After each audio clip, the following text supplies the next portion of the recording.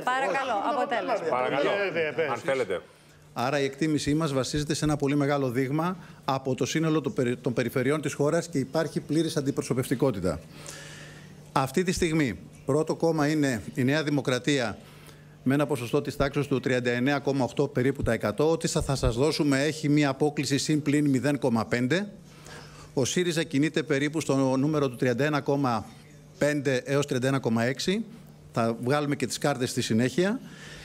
Αυτή τη στιγμή η πρόβλεψή μας δείχνει ότι θα έχουμε εξακομμα... εξακομματική βουλή με το, μέρα... με το Κινάλ, το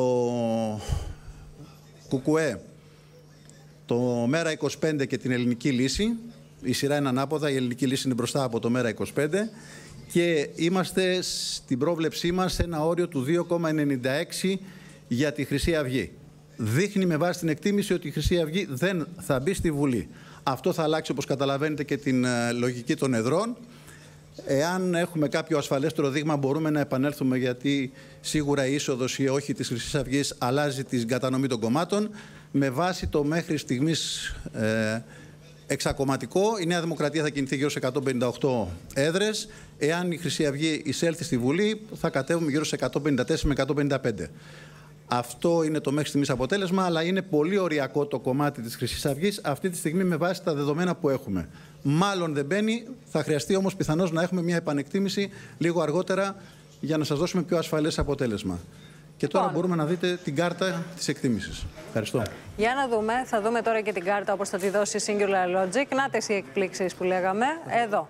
Νέα Δημοκρατία λοιπόν, 39,8 με 158 έδρες. Εδώ παίζει το θέμα της Χρυσή Αυγής, είπαμε. ΣΥΡΙΖΑ, 31,6 με 86 έδρες. Κίνημα αλλαγής, 8,3, 23 έδρες. ΚΚΕ 5,3, 14 έδρες. Ελληνική λύση 3,7 με 10 έδρες. Μέρα 25 3,4 με 9 έδρες. Εδώ μιλάμε για μια εξακομματική βουλή και είναι στο όριο όπως πολύ έγκαιρα μας έχει ε, πει ο κύριος Δρυμιώτης. Λαϊκός Σύνδεσμος Χρυσή Αυγή είναι οριακό το ποσοστό 2,9%. Από εκεί και κάτω θα δούμε τα ποσοστά των κομμάτων. Πλεύση Ελευθερίας 1,4%.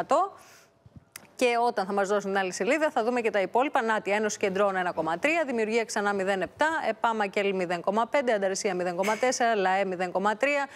Ελλήνων συνέλευση 0,3, Κουκουέ Μουλού 0,1, Μουλού Κουκουέ 0,1. Λοιπόν, κύριε Δρυμιώτη, είχατε απόλυτο δίκιο στη Χρυσή Αυγή. 8% τελικά, κύριε 8%. Δρυμιώτη. Βλέπουμε και τα Δηλαδή το υπόλοιπα. ματσάκι γύριζε ίσω. Ε, 8,3. Ε, καλά, με 8 μονάδε θα Με γυρίσει. συγχωρείτε, Πόσα αλλά, ημίχρονα θα γύρναγε. με συγχωρείτε, αλλά εδώ είχαμε ξεκινήσει πριν από τέσσερι το μέρε ματσάκι και έληξε. μιλέ. Είχαμε- Έληξε. Σωστό. έληξε ματσάκι. Σωστό. Σφύριξε Έχετε τέσσερις. δίκιο, κύριε Ε, Γεωργίου. μαλάκα, Ο ΣΥΡΙΖΑ Πάμε κέρδισε. τέσσερα χρόνια πάλι. Σωστό. Μην αγχώνεστε. Κάνει κυβέρνηση Δευτέρα. Όχι, αλλά ο ΣΥΡΙΖΑ κέρδισε. Ναι, μην- Με συγχωρείς που στο λέω, Ε, τι αγαπημένο μου, κέρδισε, αλλά ρε φίλε. κέρδισες. Εδώ μιλάμε για 31% στα 32 έχεις. Δεν είμαστε έφηβοι να μετράμε 31 πόντους. 31% Εδώ είναι στο ξεκάθαρα 32 τα είναι. πράγματα. Ένα πρώτο κόμμα και ένα Μπορεί να δεύτερο. διαφωνεί.